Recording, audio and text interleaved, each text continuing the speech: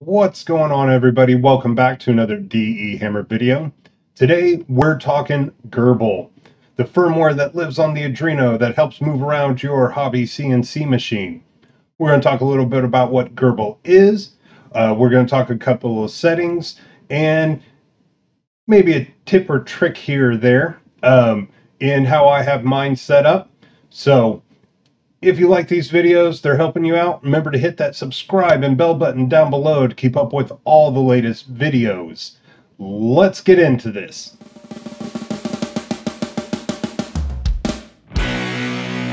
What is GRBL? In its most basic sense, it is firmware that enables you to control your CNC machine. GRBL communicates the instructions it receives from your control software out to your motors, your spindle, your laser, etc., etc. It is open source, so you can get GRBL off of GitHub, go down there, download it, and then flash it to your Arduino. Today we're going to be using GSender as our control software to change our GRBL settings. Quick note, before we get started, make sure you have a copy of your settings. So we'll come in here, then we'll go to Notepad and paste them in there. So now we have our original settings. Before we change anything, we can always go back. If we don't like the settings we chose, we can change everything back, have those on hand, save that, print it out.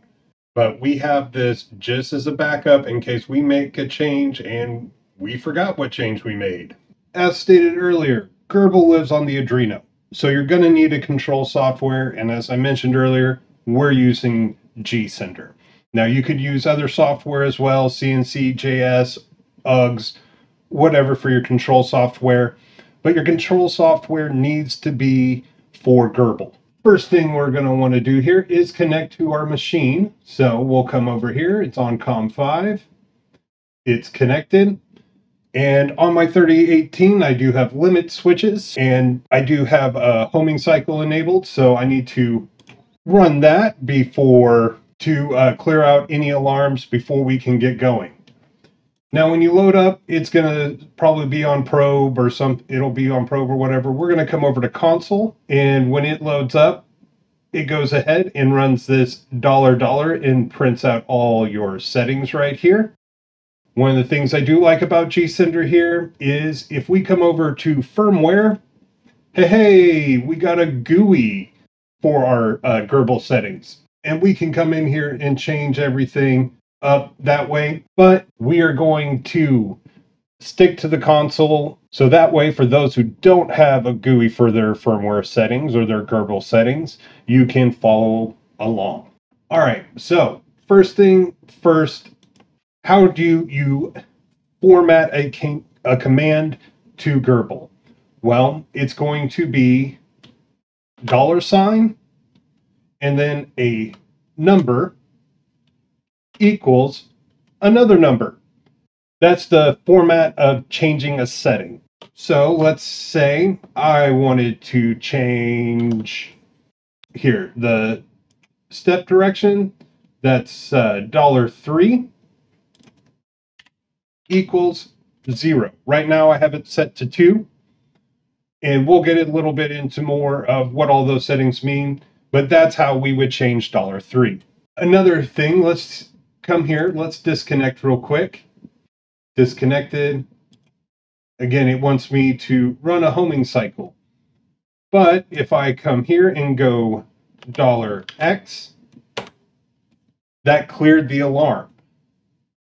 So when you're using your control software, these buttons and everything, all they're doing is sending commands like $X or $H for a homing cycle to the machine to run those operations. Pretty cool, but that's really all a control software is. It's just a GUI that is sending those commands to your CNC machine. All right, now that we've kind of gone over all that, let's jump into our first topic, which is going to be axis directions and homing direction. Let's go ahead and bring up these settings again real quick. And let's go look at dollar three. All right, couple things before we get into the nitty gritty of dollar three and dollar 23.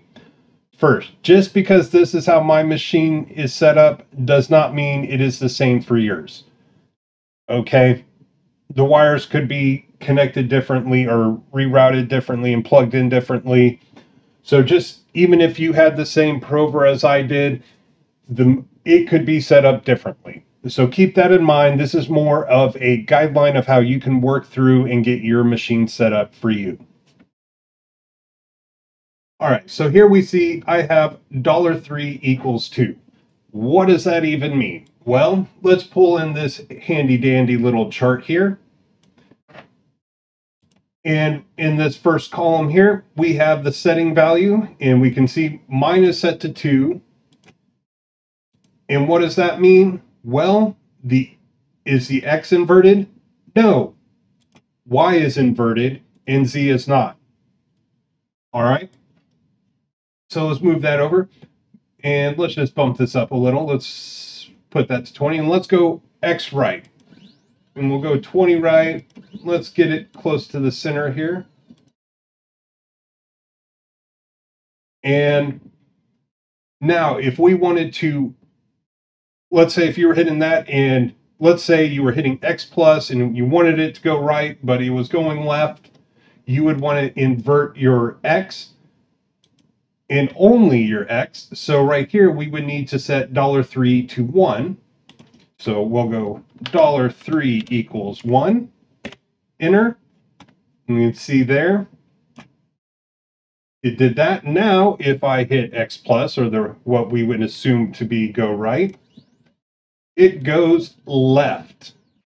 So if any of your axes are going in the way you don't want them to go, I'll have uh, a link down below where you can find uh, these settings. And then you can change and invert whichever axis you need to invert. Now, here's another cool little thing. As I said in the beginning, I had my dollar three as two. And we'll go ahead. We've changed that. Now, if I hit Y plus, it's going to bring the table toward me. And why is that? It is moving in a positive direction. So if we think of this part right here as zero, zero, and we want it to go up 20 millimeters, we want the table to come towards us. Whereas on my long mill, if I did that, the y-axis would just move towards the back of the machine. Whereas the bed is moving towards us here. And I'm going to go ahead and zero all of these out real quick. And we're to, I'm to run a little test here. So let's get some paper.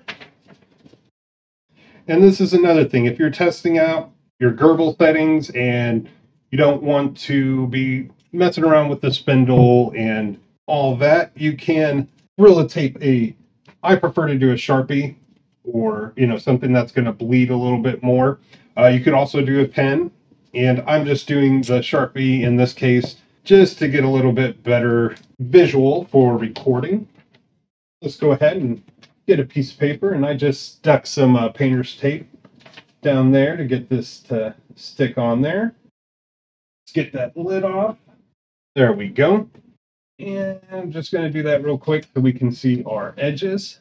Again, we're not trying to get too technical here on that. Okay, and again, now I want to go in the negative space. So we're getting back to zero. We're getting as close as we can. We'll re-zero these out. And you can see here our tool bit is showing us down at zero, zero. Hit that flat again. Let's bring down our Z. All right, we'll bring this down here. We'll go in positive direction. Now let's load a file here. I have two files. I have one test lower left home. And so let's open that up.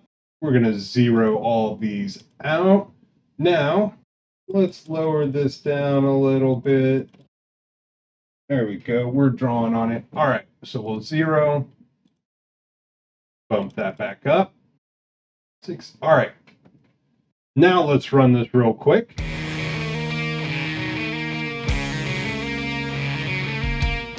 All right, so we can see we got hello world and it did what we expected it to. All right, let's go back to zero here. Then, remember earlier I said when we hit this y negative, we want it to move in the negative space of our work area. And when we hit it positive, we want it to go positive. Well, on my 3018, the first thing I was doing a lot of were acrylic. Pretty much that's all I was doing with this machine for months. And so there were several times I would forget to invert my image and I get out there and it was just uh, it was a headache to say the least because I would for if you forget. So one of the things I did on this machine was in my dollar three equals zero. So now when I hit negative y, that means the bed is actually going to move up towards us. Now, so the control software thinks we're moving in a negative direction, but really we're moving in a positive direction. But you'll see what we're what's going on here in just a second. Let's get this over there. Now let's re-zero this out. I'm going to change this. Uh, duct tape and a Sharpie, you can see it's very loose, so I need to make sure it's not going pressing down too hard. We'll come over here and re-zero this out, bring it up. We'll zero there. It's a little bit different you got a lot of movement in your z-axis, so that's part of the important that's an important thing to have is your you know a sturdy Z, but let's go ahead. Hit that. Now, it's saying we're at zero, zero. Our Y is actually, when we move it this way, we're moving negative in relative negatively in the workspace. Watch what happens when we run this with, remember, we're set for lower left. Now, if I hit start job,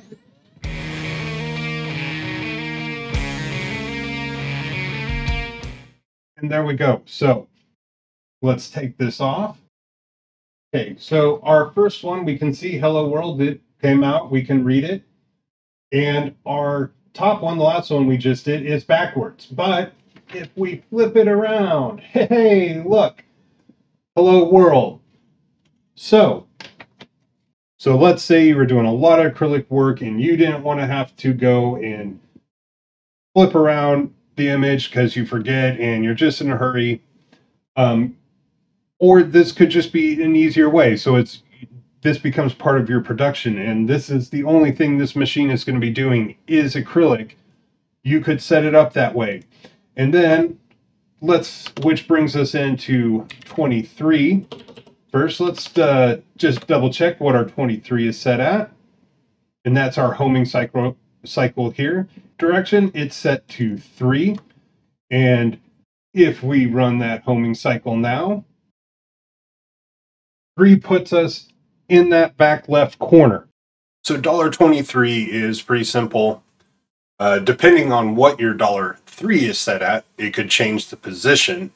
So our so our dollar three right now is at two, and our 23 is at 1. And we can see it's in the back left corner. So now if we were to change our $1.23 equals 0. Now if we run a homing cycle,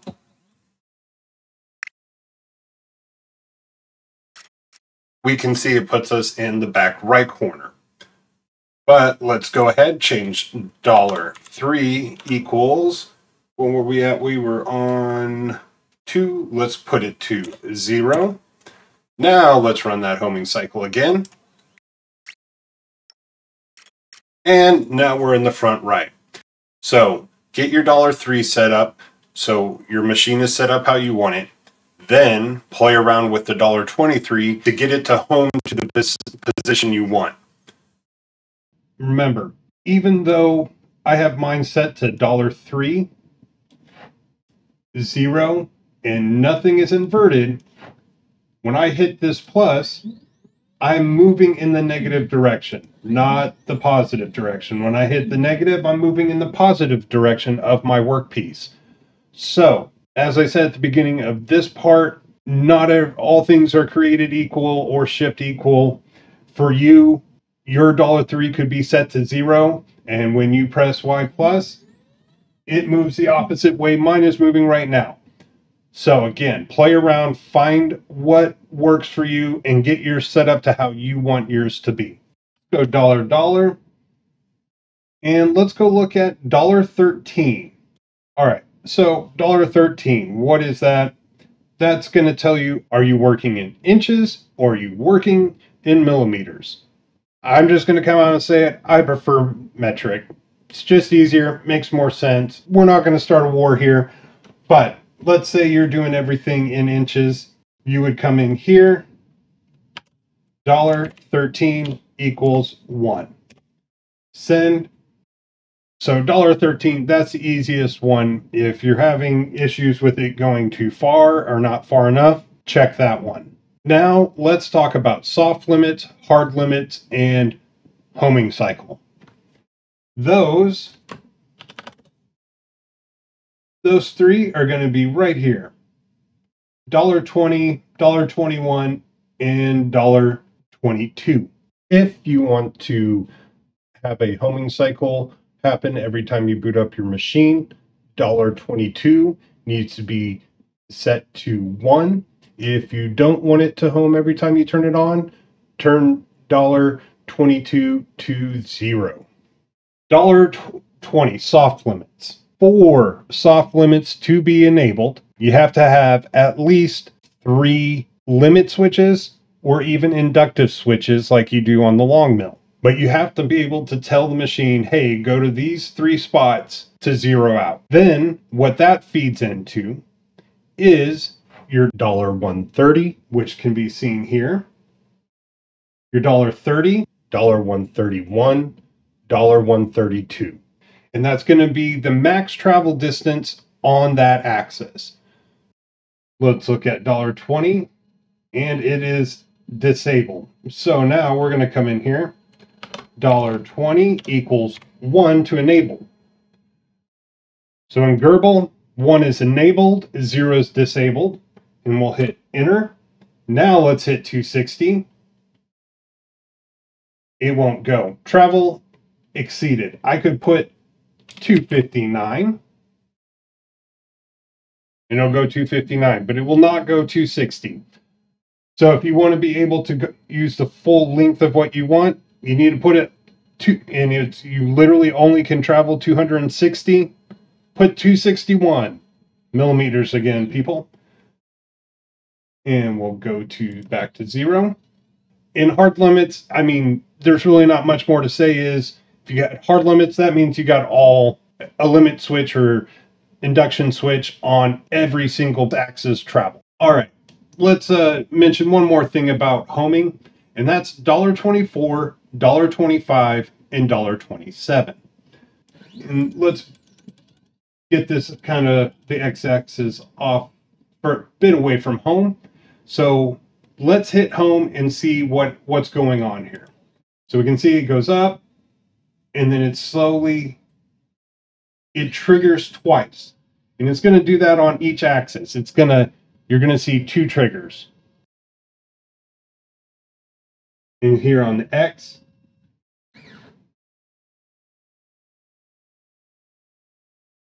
twice.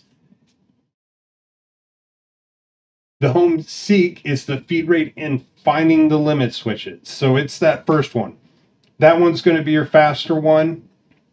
I still like to keep it somewhat on the slower side.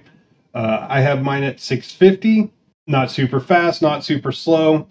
And then you have $1.24, that's the homing feed. So that's after it, init- it makes initial contact.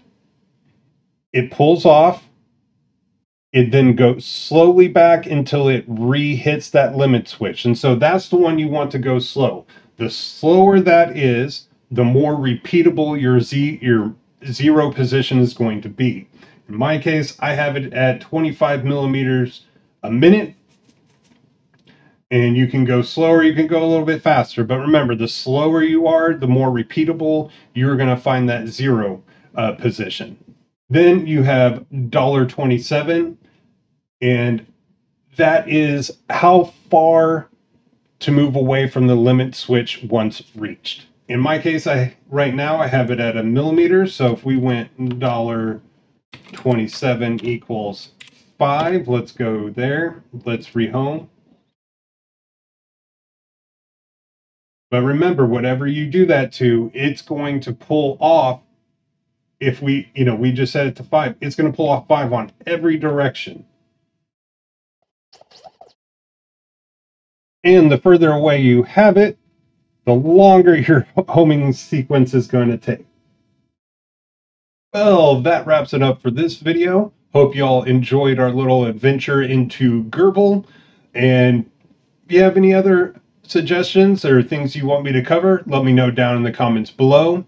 Again, thank you for watching. Remember to hit that bell and subscribe button to keep up with all the latest DE Hammer videos. And until next time, keep making stuff.